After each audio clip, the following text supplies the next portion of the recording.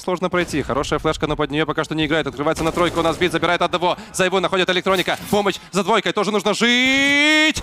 Где же там бит? Кьоджин забирает Бумыча. В итоге Валера. Выход одного загираем. Да, второго забирает. Чемпионы Нави! Чемпионы пласта осеннего! Натус Винцеры выигрывают карту Де Инферно с очень уверенным счетом. Поздравляем! Натус Винцеры чемпионы.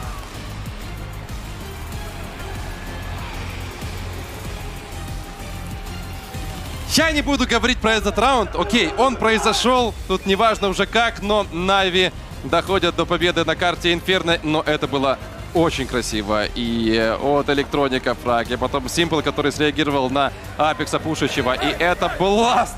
Осенние финалы под ногами.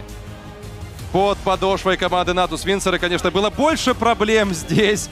Особенно если сравнивать